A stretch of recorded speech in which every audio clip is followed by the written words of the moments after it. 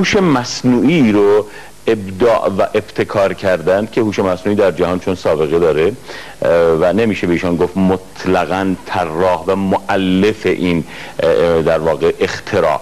ولی مدعی که پیشرفته ترین هوش مصنوعی سیستم هوش مصنوعی. یه سیستمی طراحی کردن بر مبنای دانش هوش مصنوعی که حالا می‌خوایم با بیننده ها ببینیم که چیه. حالا تا نیومده بین خودمون بمونه بگو اصلا هوش مصنوعی چیه؟ هوش غیر مصنوعی می‌شناسیم دیگه نه؟ من اینطور یاد گرفتم. هوش مکانیزم بهره برداری بیشتر از امکانات و شرایطه.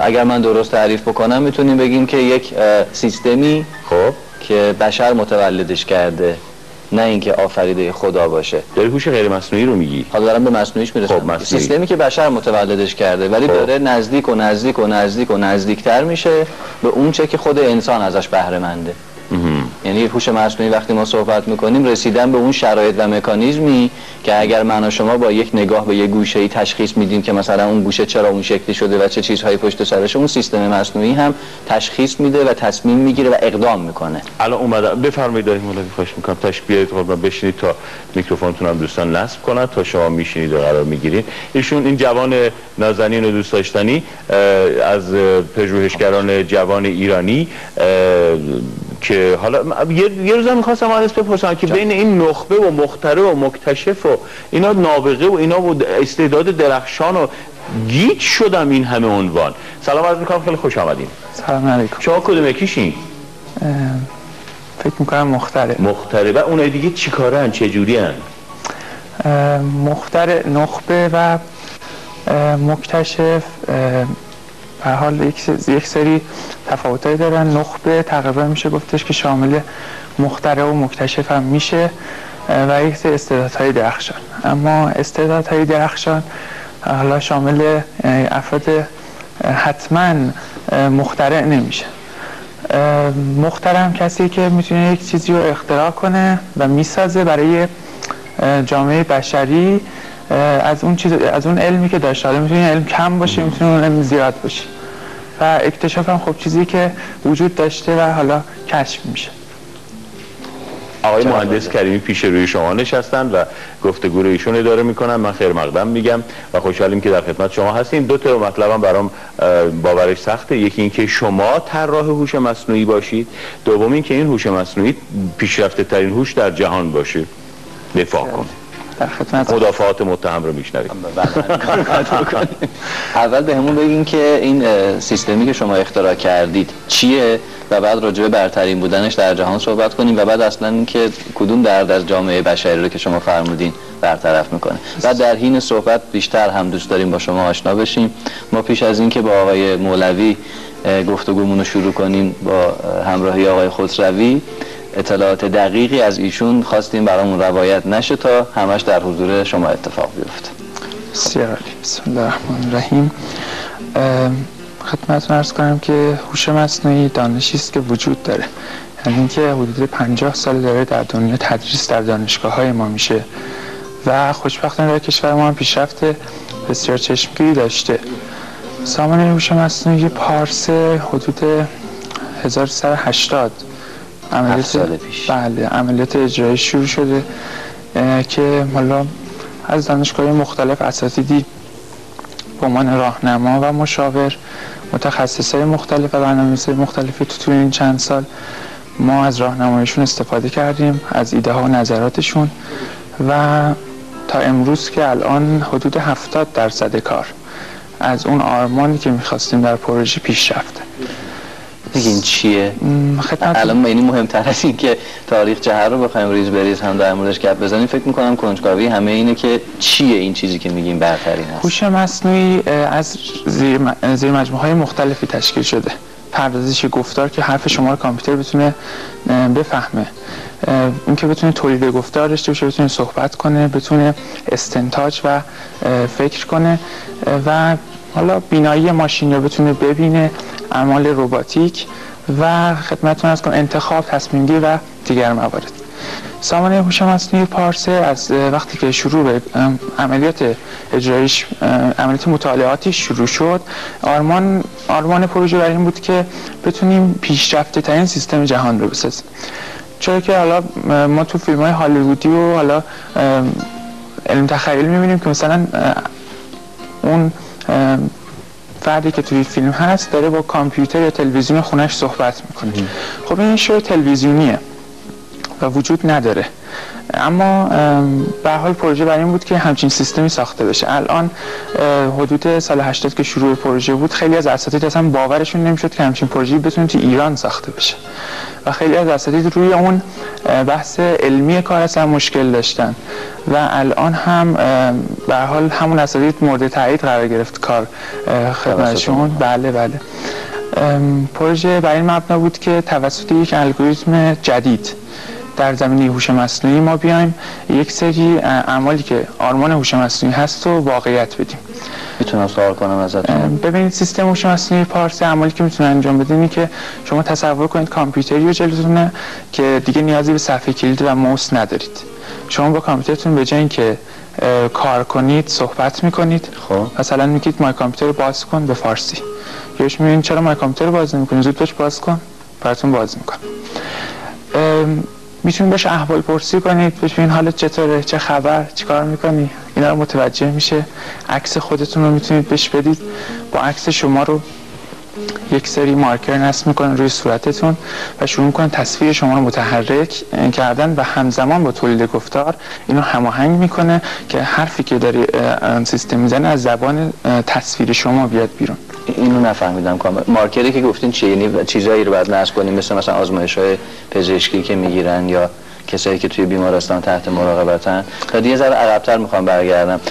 تصوری که ما داریم از محصولات هوش مصنوعی بخش عمدهش در قالب ربات ها دارن شناخته میشن. و خب توی اخبارم می‌بینیم مثلا ربات هایی که کشور چین تولیدشون کرده یا توی کره جنوبی توی ژاپن یا توی مالزی که حالا هر کدوم رفتارهای مختلفی هم انجام بدن. یکیشون پرستاره یکیشون آشپزی می‌تونه بکنه. تخیل هایی که تو فیلم های علمی تخیلی هم می‌بینیم حالا دارن نمودهای واقعی و عینی پیدا می‌کنن. اون چیزی که شما ازش دارین صحبت می‌کنین یه نرم افزاره که روی هر سیستم رایانه ای قابل نصبه. درسته؟ بله. بعد این مارکر و اینها رو توضیح بدین چطور شد. اون که صحبت باش می‌کنیم و فهمیدیم. بهش باش حرف می‌زنیم جوابمون این یه قسمت زیر تخصصی میشه. من سریع خدمتتون بگم. مارکر یک حالا یک سری علامت هایی هست که توی بخش برنامه نویسی سیستم میاد روی تصویر قرار می‌گیره و اونها رو سلکت می‌کنه به حالا اصطلاح چیزی به رو صورت ما نصب نمیشه. نه نه. اونجا اون مارکر. شما تصویرتون فقط به سیستم میده اون به صورت هوشمند یه سری مارکر روش نصب می‌کنه خب. که شما باز اینو تو تصویر نمی‌بینید. و یک ماسک حرکتی رو صورت شما قرار میده که شروع می‌کنه حرکت های ماهیچه های صورت رو شبیه سازی کردن.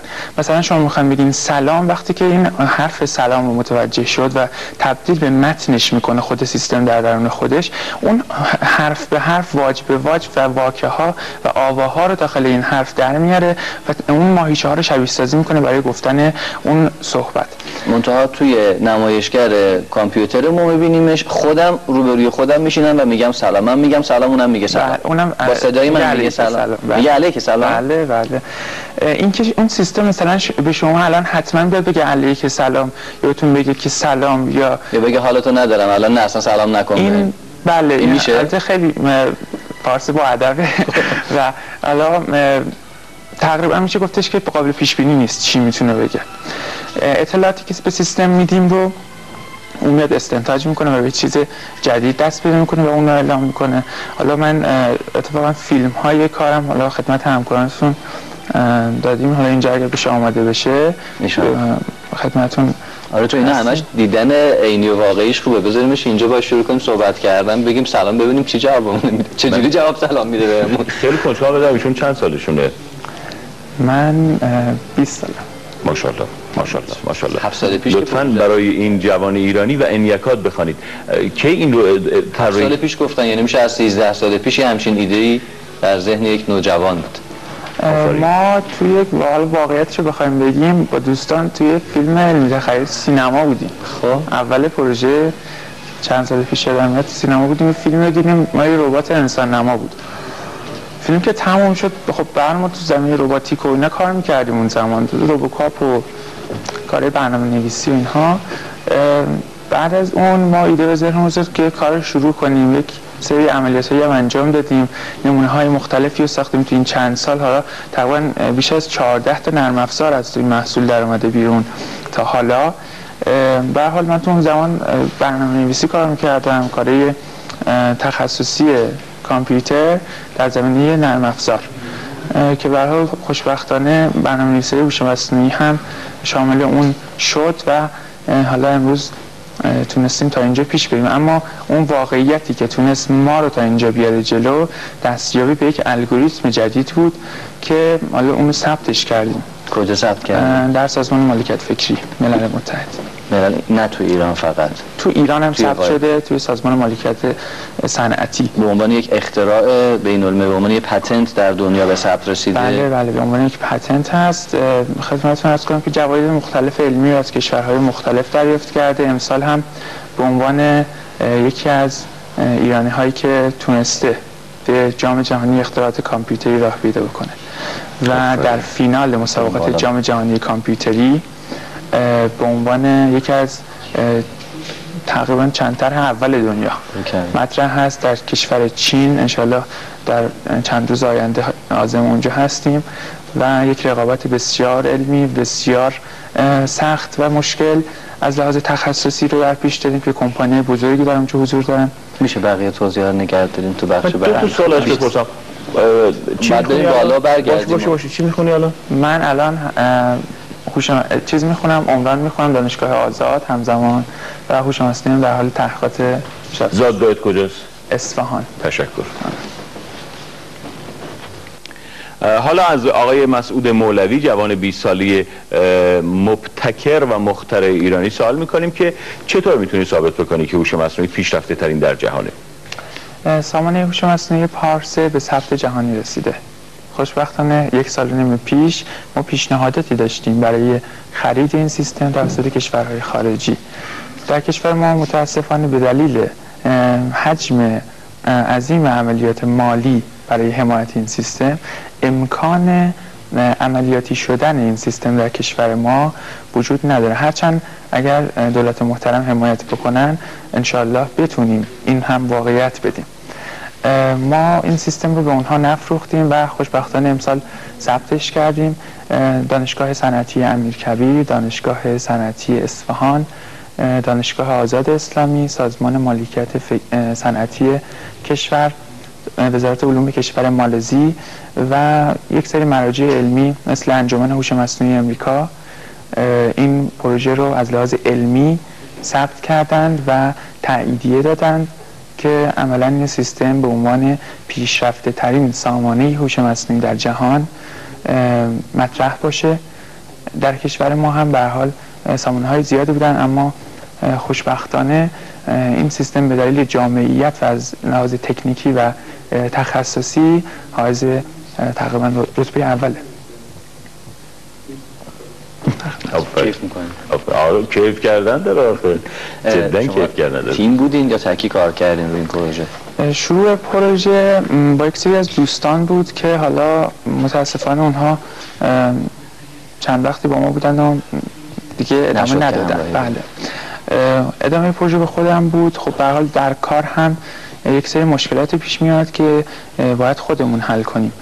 و از اونجا به حال پروژه تقریبا با مدیریت کامل و حالا چیز خودم انجام تخصصی خودم انجام شد و بخشی مختلف برنامه‌نویسی سیستم تحت هدایت خودم بوده شما تو بخش اول صحبت ها که با آقای خسروی هم طرح کردین گفتین که اختراع وقتی انجام میشه باید یک دردی از جامعه بشری رفت بشه یک شرایطی برای رفاه زندگی بهتر انسان ها فراهم بشه.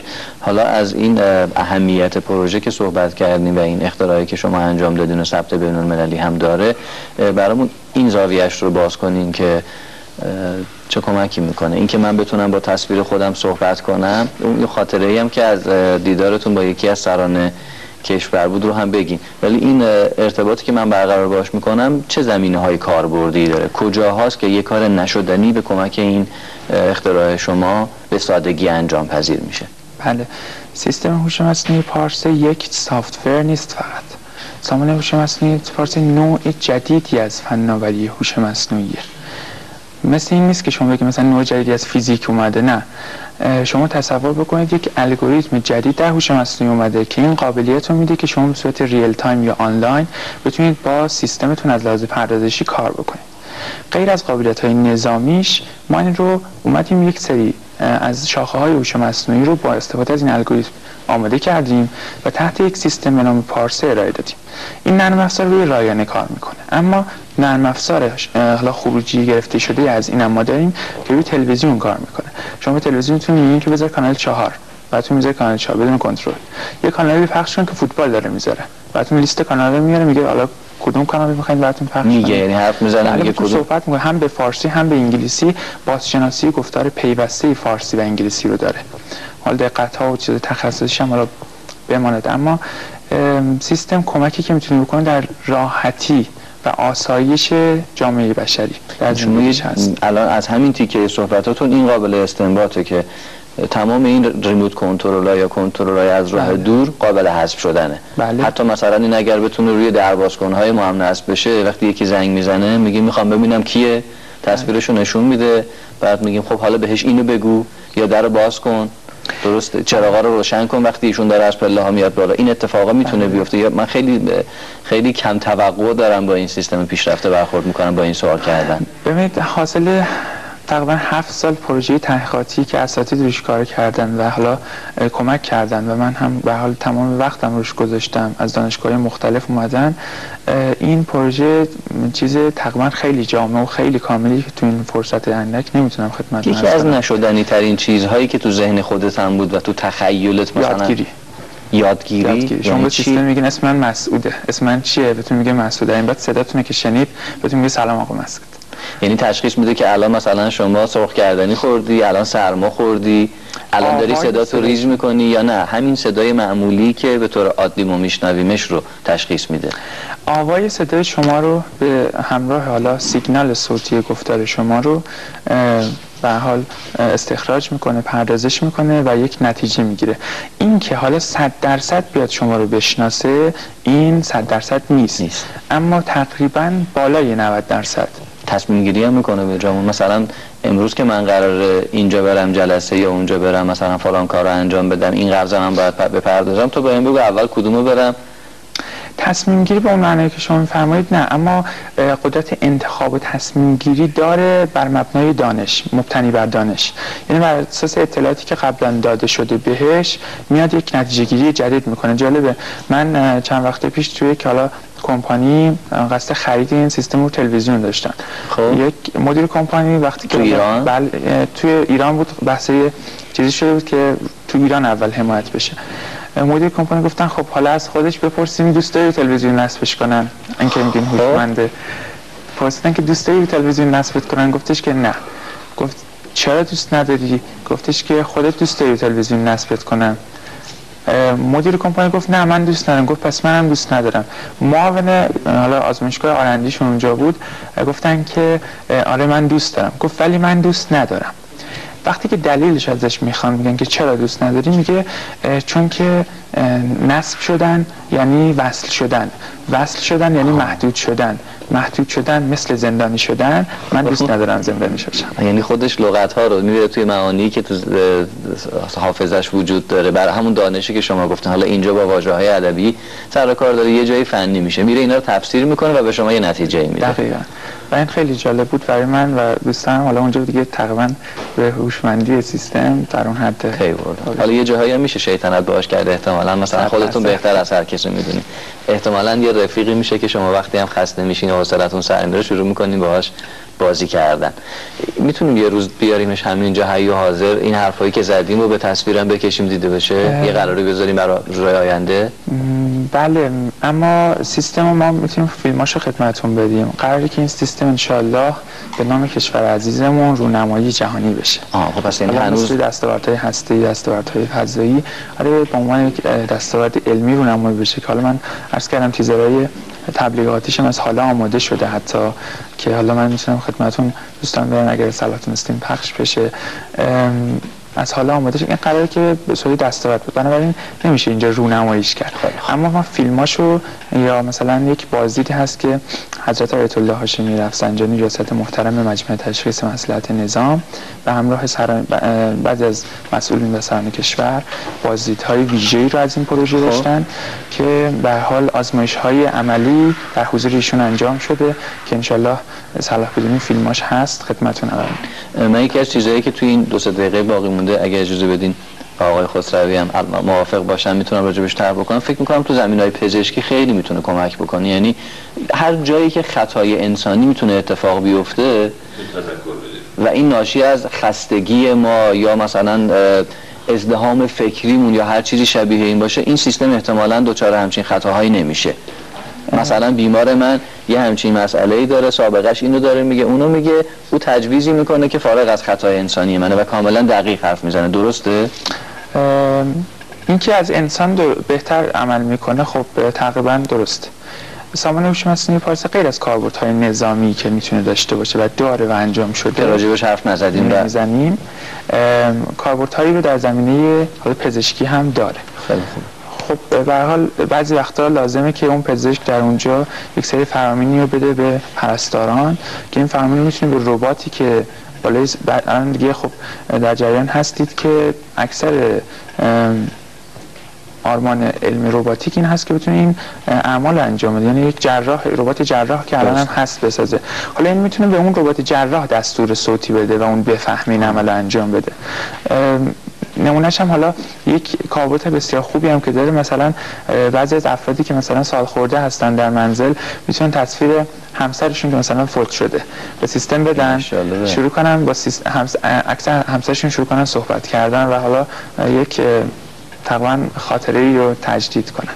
حالا یکم فکر می‌کنیم می‌بینیم خیلی از ناممکن ها با یه همچین مثلا اختراعی دنیای نشدنشون میره کنار یه فضای جدیدی پیش رومون قرار می‌گیره تو مهموناتون که می‌گفت دیگه نمیشه گفت فضای مجازی؟ آقای دکتر عاملی. آره می‌گفت باید بگیم یک حقیقت ثانوی. آره یه همچین تعبیر بله. یا یک واقعیت ثانوی. حقیقت هم اگر نگیم واقعیت ثانوی. خیلی عجیبه خیلی عجیبه. اتفاقات خوشحالیم. یه جوون 20 ایرانی. در قشنگ جوان 20 ایرانی. حالا بعد بعدا بشینیم ببینیم که تو سالهای آینده این مجموعه حرکت و فعالیتی که آقای مولوی شروع کردن چه چیزهایی پشت بندش میاد چه سر و صدایی تو دنیا به پا میشه. وقتی حالا اون رونمایی بین المللی که اشاره کردن اتفاق میفته و ببینیم رو دست این اختراعیشون چه کسی در کجای دنیا ممکنه رکوردی بزنه. مثل رکوردهایی که توی ورزش داریم. موازیاش هنوز که هنوز کسی نتونسته رو دستشون بلند شه. اینجا هم امیدوارم تو فضای علمی اون همین اتفاق بیفته. خیلی آقای خسروی و آقای مولوی. بود گفتگو با آقای مسعود مولوی. من فقط عذرخواهی می‌کنم از بینندگانمون که خط ارتباط تلفنیمون متاسفانه قطع شده. به هر سبب نمی‌دونم مشکلش چیه ولی این امکان امروز وجود نداره. تشکر می‌خوام بکنن. یه سری خواهش می‌کنم آقای مولوی. من اینجا لازم می‌دونم حالا از عزیزانی که تو این کار ما رو حمایت کردن. تشکر کنم از ریاست محترم مجمع تشخیص مسئلت نظام که به حال همیشه حامی ما بودند. و واقعا حمایت کردن ریاست محترم دانشگاه آزاد اسلامی جمعیت حامل ولایت که حالا شخص های دکتر تحصیلی واقعا شبانه روز روی این کار زحمت کشیدن و کمک ما کردن. از شهرداری و مسئولین شهری شاهین شهر اصفهان بله. که این کار رو کمک کردن. همه عزیزانی که در این چند سال ما رو یاری دادن. حالا از خانواده پدر مادرم خانواده و جناب آقای دکتر محمد علی اکبر شاه محمدی و خانواده محترمشون که واقعا ما رو به من کمک کردن. خدا همشون رو حفظ کنه. قدردانی رسم نکویی که ایشون با وجود سن کمشون و طبیعی است مثلا اشتیاق داشته باشن که همه موفقیت رو برای خودشون بدونن قابل تحسینه که تاکیدم می‌کردن که تشکرمون تشکرمون با از شما خواهش کردیم که بتونید خیلی زیبا. ممنون. بهتر از هر چیزی این بود که آقای مولوی علیرغم تنها تجربه 20 ساله در محیط زندگی بسیار هوشمندانه دقیق و مسلط به بیان تمام اطلاعات رو منتقل کردن. در این تعنی و فارغ از شتاب و خیلی خوبه. چقدر وقت داری و چقدر کارهای بزرگتر می‌تونی انجام بدی. خیلی سپاسگزاری می‌کنم. آقای مهندس کریمی خیلی متشکرم از اظهار محبتتون. آقای مهندس مولوی خیلی متشکر. بینندگان عزیز خواهش می‌کنم به عکس‌های خبری نگاه کنید.